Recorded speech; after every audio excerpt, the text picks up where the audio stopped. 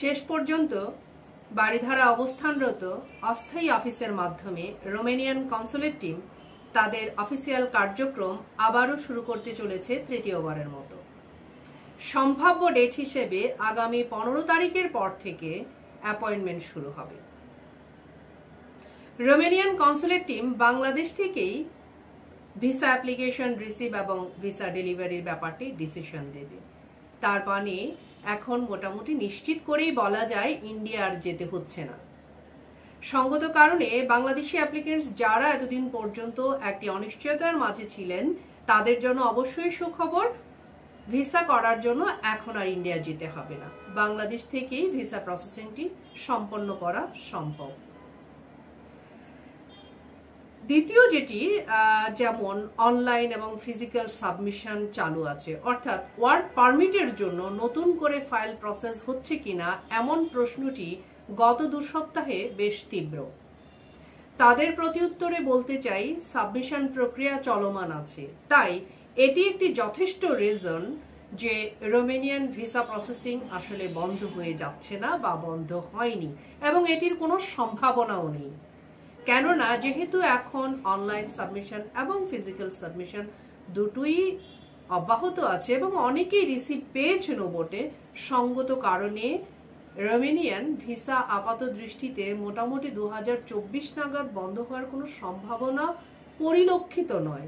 যদি দৈবাত পূর্বের ঘটনার ন্যায় এমন কোনো ঘটনা না ঘটে, তো অবশ্যই। তৃতীয় ওয়ার্ক পারমিট হলে ভিসা হবে এটি প্রায় নিশ্চিত করে বলা যায়।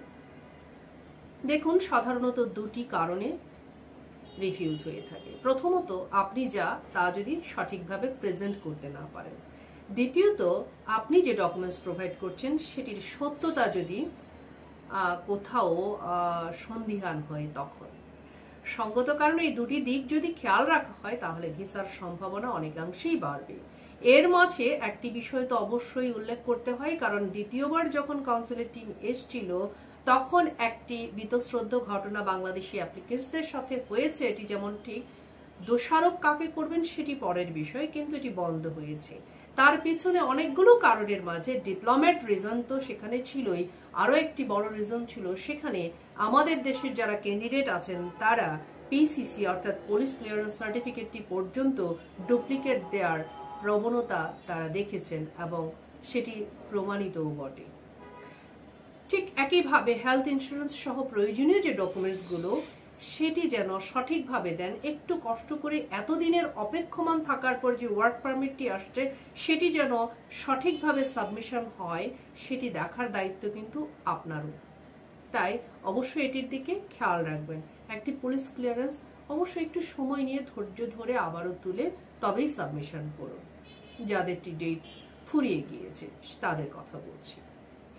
এবার আসুন, একটু কঠিন তো হবে সেই কঠিনের দিকটি কোনটি? প্রসেসিং প্রক্রিয়া স্বাভাবিকভাবে তাদের যখন একটি দ্বিতীয়বারের ঘটনাটি একটু দ্বিপাক্ষিক একটি বিষয়, সেক্ষেত্রে আমরা খুব ডিপলি আলোচনা না করলেও এটি অন্তত বলতে পারি ভিসা সাবমিশন প্রক্রিয়া এই বিষয়গুলো প্রভাব ফেলেছে। এটি সর্বসম্মতিক্রমে গ্রহণযোগ্য একটি কথা। ঠিক একইভাবে আপনারা আপনাদের সাবমিশন যখন করবেন, তখন ডকুমেন্টসগুলোর দিকে সচেষ্ট হবেন এবং ইন্টারভিউটি যেন ভালো করতে পারেন, যেন যথাযোগ্য, যেমন যথাযথ উত্তর দিতে পারেন, সেই বিষয়গুলোর দিকে অবশ্যই খেয়াল রাখবেন। আর কঠিনের সাথে সাথে আরও একটি বিষয় অবশ্যই লক্ষণীয়, সেটি হচ্ছে স্বচ্ছতার দিকটি। স্বচ্ছতার দিকটি কিন্তু বাড়বে। তাই হতাশ হওয়ার কোনো কারণ নেই। এক্ষেত্রে যারা ওয়ার্ক পারমিট প্রসেসিং করা অবস্থায় অনেকেই তাদের ডকুমেন্টস বা ফাইল উইথড্র করেছেন, তাদের প্রতি সমবেদনা জানানো ছাড়া আসলে এই মুহূর্তে আর কিছু বলার নেই। যারা অপেক্ষা করছেন, ধৈর্য ধরে অপেক্ষা করেছেন এবং এখন পর্যন্ত করছেন, তাদের জন্য অবশ্যই অভিনন্দন।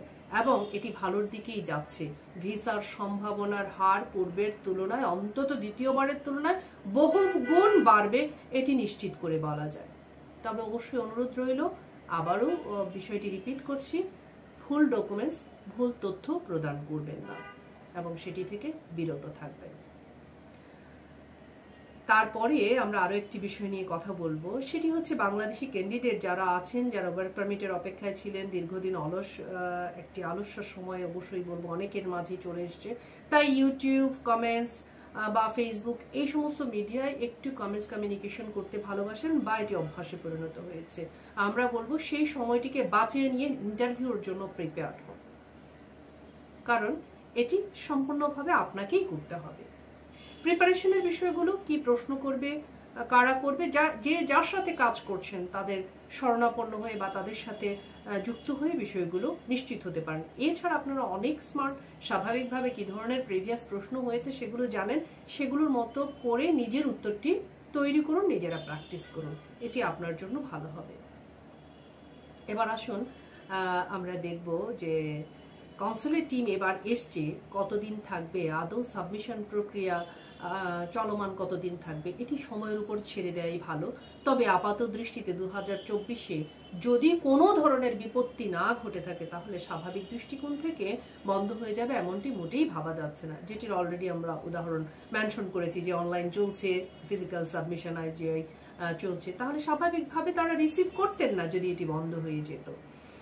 এবার আসুন, রিজেক্ট ফাইলের নিয়ে যদি একটু কথা বলি, যারা অলরেডি পূর্ববর্তী সময়ে বা দ্বিতীয়বারে অনাকাঙ্ক্ষিতভাবে একটি রিজেকশন পেয়েছেন, তাদের জ্ঞাতার্থে অবশ্যই বলব, আপনি আগে ভেবে দেখুন, আপনি যে ফাইলটি সাবমিট করেছেন, সেখানে কোনো ভুল তথ্য প্রদান করেছেন কিনা। যদি এটি থেকে আপনি নিশ্চিত হন যে আমার কোনো তথ্যে ভুল, পরিবেশনে ভুল ছিল না হয়তো আমি ইন্টারভিউটা ঘাবড়ে গিয়েছি বা সঠিক উত্তর দিতে পারিনি, সেটির জন্য আমি বলব অবশ্যই আপনারা পুনরায় অ্যাপয়েন্টমেন্ট নিয়ে সাবমিশন করুন। কারণ অনেকেরই আছে ওয়ার্ক পারমিটের মেয়াদটি এখন পর্যন্ত আছে। সঙ্গত কারণে পুনরায় সাবমিশন করার একটি অপশন আপনারা পাচ্ছেন এবং এটি মনে করতে পারেন যে ভিসার সম্ভাবনাটি বেশি আছে, সেটির দিকে খেয়াল রেখে অবশ্যই সাবমিশনটি করবেন। আমরা সামারিতে আসব। অনেক অপেক্ষার পর বাড়িধারাতে অস্থায়ী কাউন্সিলেট অফিস বা কার্যক্রম শুরু হতে চলেছে। আমরা আশা করছি পনেরো তারিখের পর থেকে অ্যাপয়েন্টমেন্টগুলো চলমান হবে এবং তখনই স্পষ্ট করে বলা যাবে যে একজাক্টলি কোন ওয়ার্ক পারমিটগুলো নিচ্ছে বা কতটুকু পর্যন্ত প্রিভিয়াসলি দ্বিতীয়বার যখন সাবমিশন হয়েছিল, কতটুকু পর্যন্ত হয়েছিল, এটি সম্বন্ধে আসলে অনেকেই স্পষ্ট নন, আমি বলব কেউ স্পষ্ট নন। কেননা, আসলে সেই সময় এমন একটি অস্থির অবস্থা বিরাজ করছিল, ঠিক সিরিয়াল বা এই সমস্ত বিষয়গুলো একজাক্টলি অফিসিয়ালি কত সেটি বলা বোধ করি প্রায় সকলের জন্যই একটি ভুল হবে। যদিও অফিসিয়ালি তাদের কাছে একটি রেকর্ড থাকতে পারে। বাট সাধারণ জনগণের দিক থেকে যদি বলি, তাহলে এটি স্পষ্ট করে মোটামুটি অনেকেই বলতে পারবেন না। যদি বা বলে থাকেন, এখানে ভুল তথ্যই পরিবেশন হবে বলে আমরা মনে করছি। এবং পরবর্তীতে বন্ধ হয়ে যাচ্ছে কিনা, আসলে বন্ধ হচ্ছে না। এমন কোনো সম্ভাবনা আপাত দৃষ্টিতে এই মুহূর্তে দেখা যাচ্ছে না। সাবমিশন প্রক্রিয়ায় গিয়ে ভিসার সম্ভাবনা কেমন হবে? ডিপ্লোম্যাটিক দৃষ্টিকোণ বা পররাষ্ট্র নীতির দ্বিপাক্ষিক চুক্তির ভিত্তিতে তারা সম্মত হয়েছে, বিধায় আবার এসছেন। প্রিভিয়াসলি আমাদেরও কিছু ভুল ছিল, অর্থাৎ বাংলাদেশের পক্ষ থেকে আমরা বাংলাদেশি হিসেবে কি আচরণ তাদের সাথে করেছি সেটি অবশ্যই দেখার বিষয়।